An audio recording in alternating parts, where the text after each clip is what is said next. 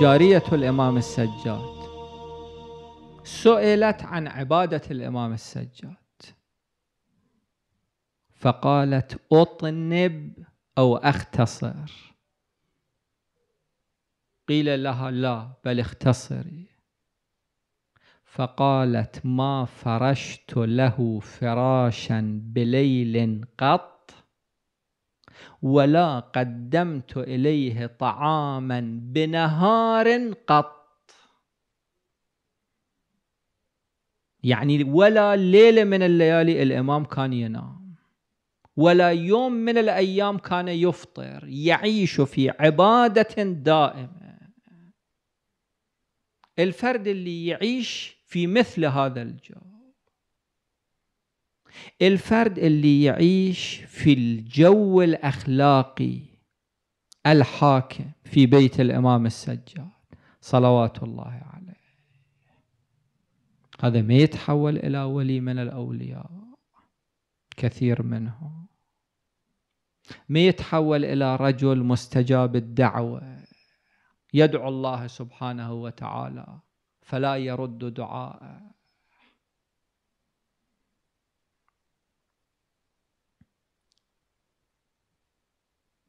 الجارية التي تأخذ الإبريق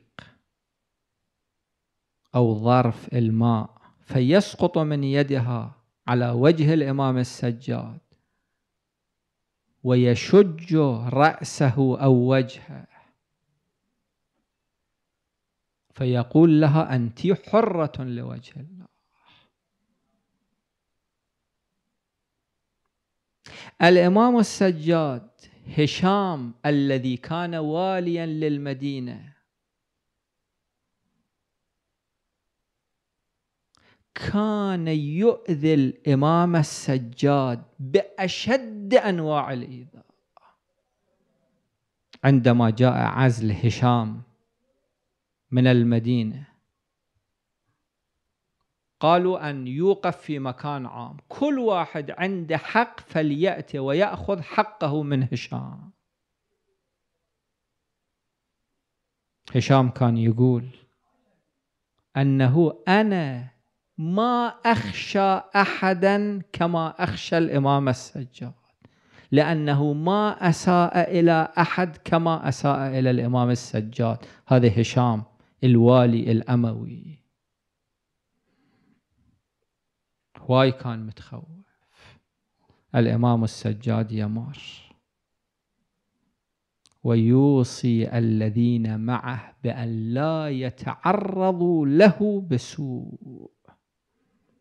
عندما يمر الإمام السجاد يقول هشام الوالي الأموي الله أعلم حيث يجعل رسالته.